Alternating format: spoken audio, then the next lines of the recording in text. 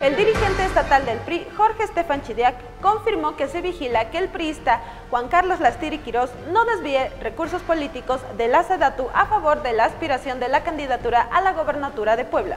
El dirigente estatal del PRI confirmó que si bien no puede detener el activismo político que se realiza el actual funcionario federal, sí se está vigilando que el orden de los recursos de las Tiriquirós no sean de la dependencia en la que trabaja. Admitió que las diversas acciones que se realiza con las Tiriquirós en los últimos meses ha generado molestia entre los diversos sectores del revolucionario institucional. Estefan Chidiac justificó la ausencia de diversos cuadros priistas el evento del domingo pasado del actual subsecretario de la SEDATU al asegurar que se trata de acciones de imparcialidad y de demostrar que la dirigencia no tiene favoritos.